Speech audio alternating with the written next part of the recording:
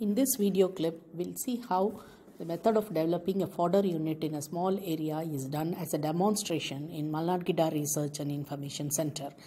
The tree fodders are also grown in this uh, small area.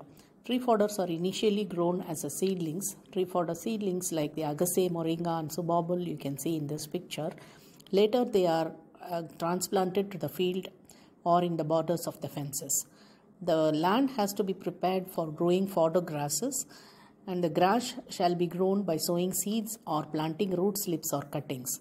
Once the grass is grown directly, we shall allow the animals to graze.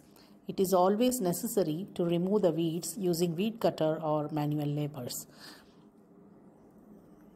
Once the grass is grown eh, to a sufficient height, they shall be cut and chaff cut and fed to the animals. This is one good method of conservation of fodders. The tree branches have also can be lopped often so that more branches shall erupt.